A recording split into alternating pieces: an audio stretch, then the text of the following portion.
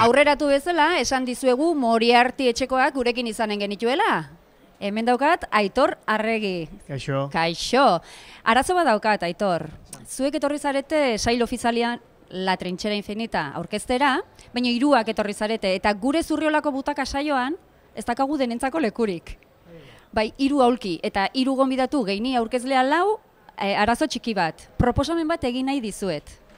Entzuteko prest? Bai, bai, Bai. Bueno, nire proposamena zera da, zuetako batek gainontzeko biak elkarrizketatzea. Zuen artean alegia egitea elkarrizketa. Nola ikusten Vale. duzu? Ondo, oso ondo. Bai. Nezun izatia? E, bueno, egin dezakeguna da, ba, aurkeztu zuen burua, norri izan daiteken ikusteko. Ah, vale. Saldu zure burua, Vale, vale. Bai, zer esan entzen nuke, zu aur- aurkezle izateko. Venga, konbentzitu nazazu. Ba, nik uste dut... Eh, Bueno, ni ez, konbentzitu gure ikusleak. Vale. Horra, ezta? Horrera begiratu eta konbentzitu. ba, ni nahi zuen hautagaia. Seguro gaina. Nahi bazu espektakulua, nahi bazu polemika, nahi bazu ez dakit, beste egingo izute beste entrevista ba, jatorrak eta la baina. Nahi bazu zerbait bihar dezalako engantzatzen duena, ni nahi zuen hautagaia. Balio du horrek? Balio du, Aitor, balio du. Aitorren hautagaitza entzun dugu, baina orain gurekin daukagu Jose Mari. Kaixo, Kaixo, Anabel. Jose Mari. Ui, ze hotxo jarri dazu. ja ensaiatzen hasi Ah, naiz, nire burua saltzen ari naiz. Bale, orduan badakizu, hiru zuzendariak etorri zarete La Trinchera Infinitari Bai. buruz hitz egitera, saile ofizialen lehiatuko dena, baina batek eginen die elkarrizketa gainontzeko biei. Zure aita- hautagaitza aurkezteko prest? Prest, prest. Kamera ere prest, orduzu. Bueno, nik uste nik, ni izan behar dudala e, zea, e, aurkezlea, ze betidanik nik galdera egilea izan naiz. Eta nire, nire soziek hori ba- argi dakate, badakite, baina hau txikitatik egiten duten zerbait da, beti galdezkari naiz, eta beraz ze, ze pertsona hobeagorik ni baino ez, hori egiteko. Hori da nire autogaitza. Hortxe Jose Mari. Tira, Jose Mari eta Aitor entzun ditugu, baina hirugarrena falta dugu. Jon, zure hautagaitza entzuteko prest gaude. Bueno, ba, nik uste kamerari, ezta? Kamarari, venga. Bai. Profesionalak bezala. Venga, ba. Ba, nik usten dut, e, nik izan behar dutela aurkezlea, eta, bueno, arrazoi nagusienetako bada, kazetaritza ikasi nula, horrek ere balio beharko luke, ezta? Eta horrez gain, e, egin ditu nire, bueno, pinituak edo argian, entrevistatzuk egin ditu, 2000 eta 2000 urte bitartean, zineari lotutakoak asko, eta orduan, ofizio pixkat uste dut badakatela. Eta hortaz gain, ustez nire sozioek nahiko gaizki ingo luketela. Eta orduan, ba, hori ebasteko behintzat, bueno, nien, nien naiz oso nahi izango, baina beraiek txarragoak. Bueno, e, esaten diate lankideek aho batez onartu dutela zu izatea. Claro, Jon, normal, normal. onartzen diguzu gonbitea? Jakina baiet. Utziko dizu nere lekua. Ai, ama. Bale, mikro aldatuko dugu. Bale. Utzi mikroa hor, gainontzeko entzat, eta hau zuretzako utziko dut hemen, bale? Paperak ere utziko izkizut? Bazpare? Bale, venga. Kaixo, ongi etorriak, zurelako butakara, gaur ere hemen gara, lehenengo egunez, donostiako zinemaldiaz hitz egiteko gogotsu. Eta nire ondoan ditut bi gomidatu berezi, edo behintzat niretzako bereziak direnak, nire ko zuzendariak direlako. Aitor Arregi eta Jose Mari Goenaga. Eixo. Kaixo, egun hon. Bueno, lehenengo aldera, Aitor. Urduri.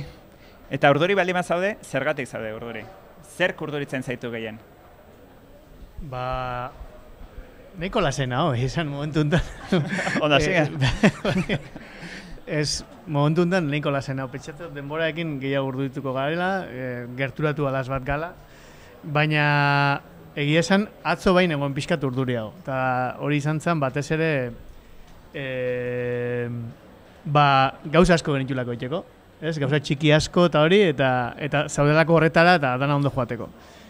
Iristen danian ja pixkat eh, feedbacka, zuk uste antzea biziko zula, izten danian pixkat feedbacka jendiana, ikusi dutenak, eta eta ze irutu zaien eta hor bai ja uste dut eh, dantzan jarriko gaila urdu itxasunakin. Eta zu, Jose Mari, momentuz ere, lasai? Mm, Beno, e, urduritasuna nabaritzen hasia naiz. Ez e, indar askorekin, baina bai, pixkat urduritzen hasia. Nik uste dut e, urduritasun puntuik e, altuena izateala prentsa pasea edo prentsa pasearen ostekoa, ez? E, hor ja gutxi gora bera ikusten duzu nor- nondik kan nora jun daitekeen e, e, jendiaren eritzia batzuetan gertatzen da baita ere prentsak iritzi bat eukitzea eta gero ikuslegoak beste bat, baino hala ere nik uste lehendabiziko neurgailu bat dala eta ikusiko dugu. Ea hacemos di Juan. Orduan bi arratsaldean dala prentsa pasea, ez? Zazpiterdietan uste dut hor momenturik e, e, latzena izango da alde hortatikan. Eta zer ikusiko du ikusleak pelikula hontan? Zer ikusiko duen, jo, Ba. La trinchera infinita da, ez da bai, pelikula. La trinchera infinita da pelikula, eta, e, bueno, ba, ikusiko duna da, e, ez dakit, mm, e, saia da igual esaldi batien sartzia, ez da? Bi orduko, bi pelikula da. Eta ba, e, or, esan, hoi izan liteke? Zenbat irauten duen pelikulak eta... Ni oso sentitzen naiz, uste dut bai? jendia... Zure bai, Jose Mari? Bueno, ez dakit, nik uste dut esan genula ez esateko.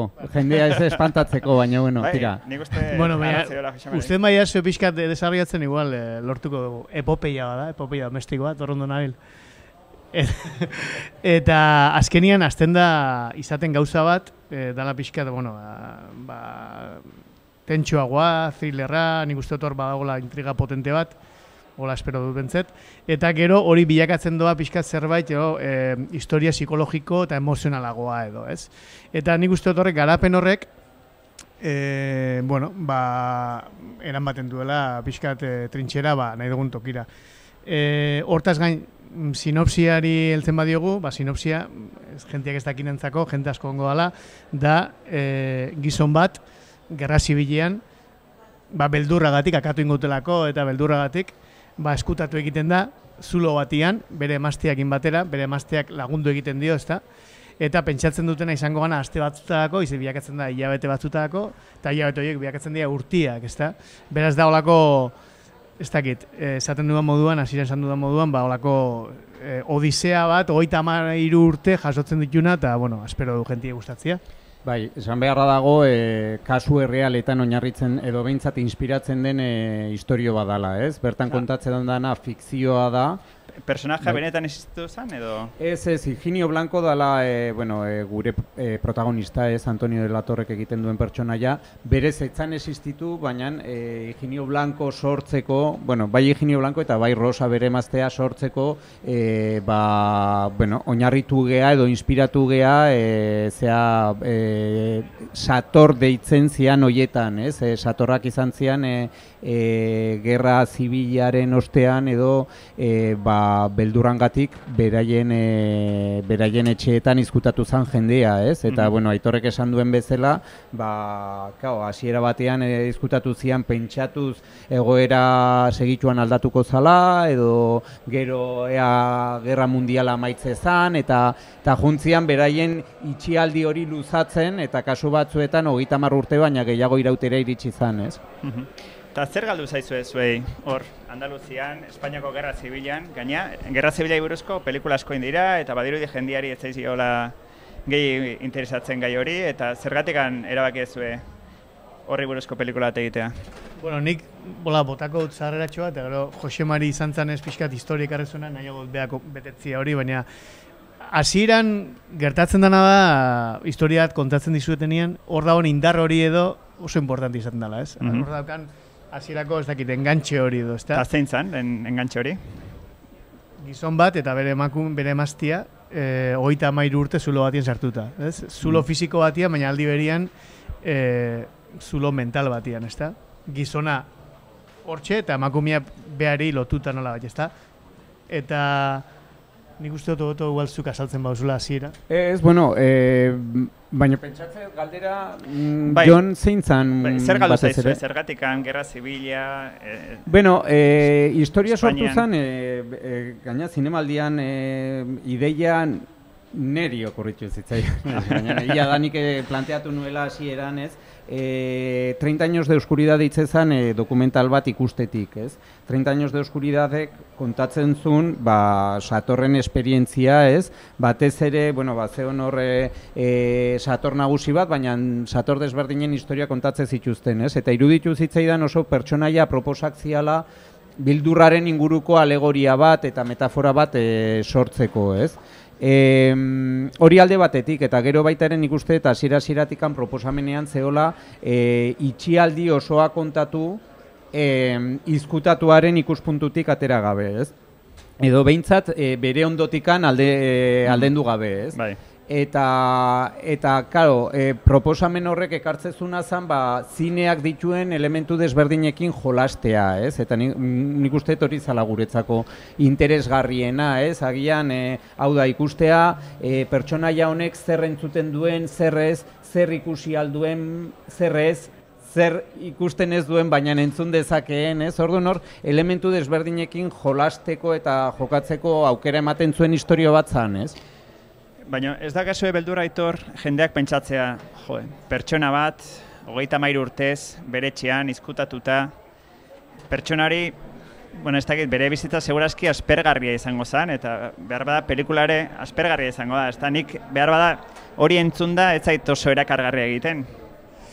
Ba, eh, bueno, pelikula... Gauza gutxi gertatzen dira, pelikula no, nola da, zera oso Ez. kontemplatiboa, oso... Ez, eh, azkenean hogeita mairu urteko historia kontatzen zu, eta hogeita mairu urtetan historia eh, motela eta aspertu, asper, asperdurazko izan dabe, eh, gauza asko gertatzen dira, baten bizitzan, ezta? Hori, hori nola bait.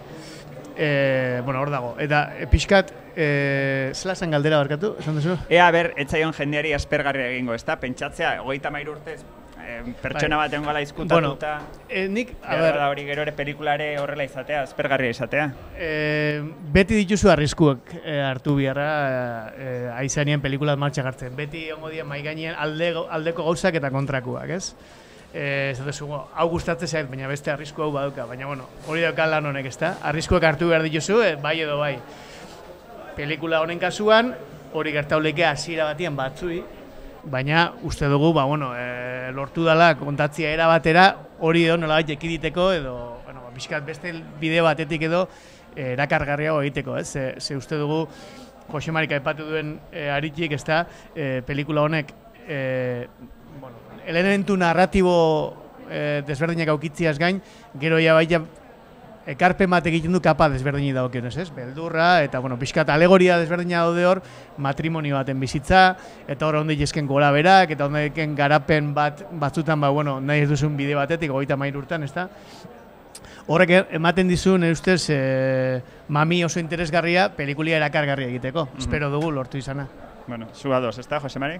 Bai, bai, era bat ados. E, egia da horre erronka bat dagoela, edo zegoen, ez, hasiera hasieratikan dala, e, Claro, e, agian e, filmaren hasiera eta amaiera oso argi zeuden, baina egia da gero zure buruari galdetze diozula. Eta nola beteko dugu, ez? E, e, bigarren e, zati hori, ez? Edo, bueno, azkenian hiru aktotan e, banatzen danean pelikula bat, ez? Bigarren aktori luzeena dala, ba, baita ere ba, askotan zaiena da, ez? E, e, bueno, ba, ikuslearen interesa hor mantentzen, ez? Eta eta tira, ba Aitorrek esan duna, azkenian bizitza batean gauza asko gertatze dira eta horreta horri eutsi diogu, ez? Beraien arteko erlazioari eta beraien arteko konfliktuei. E, nire iritziz, e, pelikulan e, aktoreak oso ondo daude, Gustatu zaizu? asko. Posten naiz.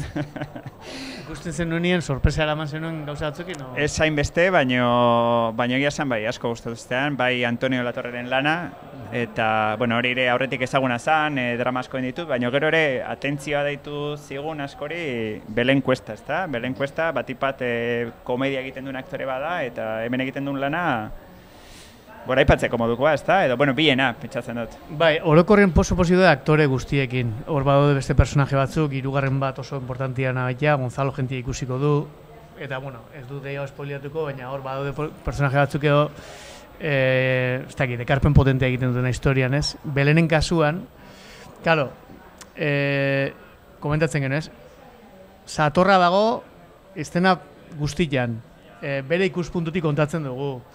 Eh, a priori ematen du bea dala protagonista absolutua, ezta? Baina komentatzen genuena, ez, mm, bikote baten historia da baita, ez? Mhm. Satorra da honien bea barruan sartuta, Satorrak ez badoka bere konplizea, e, horrez dauka zereginik, ezta? Orduan, emakumea da, kasu honetan, Belen, Rosa, personajia, e, Satorra bezain garrantzitsua historia honetan, esango nuke nik, hori ja ba- bakoitza balautuko du, baina ez bakarrik ikusten duzunean bertan e, egiten ematen dizunagatik.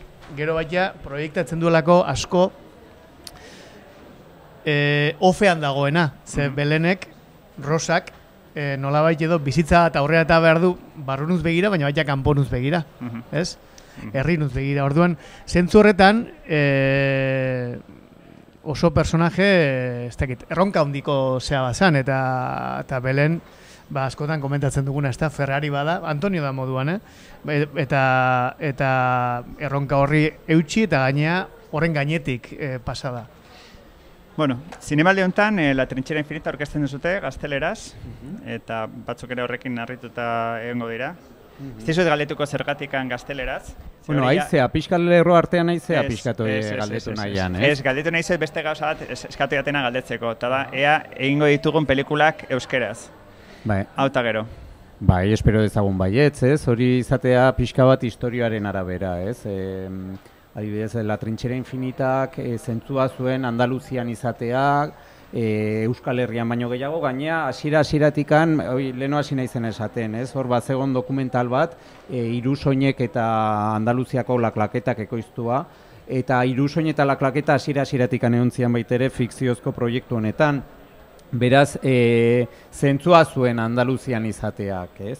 Eta, eta horregatikan izan da horrela, ez? E, Bueno, Oraintxe bertan ez dakigu urrengo gure proiektua euskeraz izango den, ingeles ez, e, gure betiko be- lan egiteko modua hori izan da, ez? Pixka bat historiaren arabera hizkuntza erabaki, baina oso eroso gaude noski e, euskeraz filmak egiten, oso eroso eta gustatzen zaigu gainea ala izatea, eta eta bai, ni ziur nago e, egongo direla euskaraz egindako filme gehiago gure aldetik. zinemaldi honetan, eh, La Trinchera Infinita orkestaz gain, eh, Kimuakeko pasean, Materoen ama film laburra orkestuko duzue, dugu, baita ere, Bai. ezta?